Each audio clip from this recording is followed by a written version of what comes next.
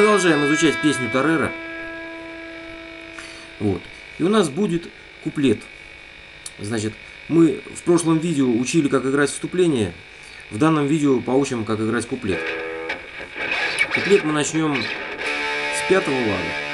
Вот. В принципе, можно ставить квинту, можно ставить одну струну. Пару вариантов, то есть вы можете любой выбрать. Я предлагаю пятый лад, пятая струна указательный палец.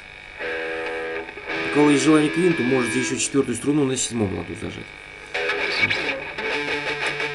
Таким образом у нас будет, грубо говоря, первый аккорд. Это значит пятая струна на пятом ладу. В правой руке у нас пойдут поочередные штрихи.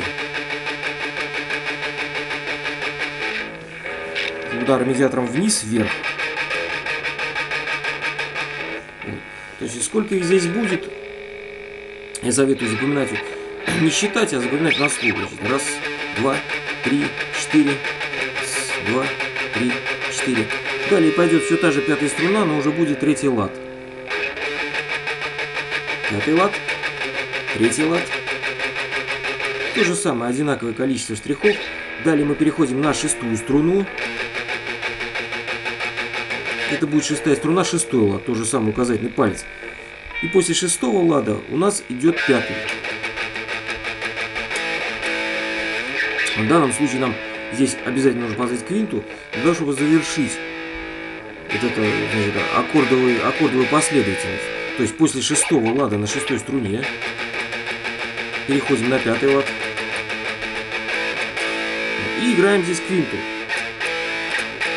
Получается 4 удара. Первый удар глушенный, глушение, вниз глушение вниз. То есть здесь получилось 4 штриха на квинте. Это глушение вниз, глушение вниз. Это будет пятый лад. Квинта с шестой струны. Еще разок. Перед этим мы играем шестую струну на шестом ладу. И далее у нас идет квинта на пятом ладу, шестой струны. Но перед квинтой мы ровно половину сыграем тех штрихов, что мы играли до того, как не играли квинту здесь. Еще разок это место. Шестой лад. Пятый. Далее мы повторяем.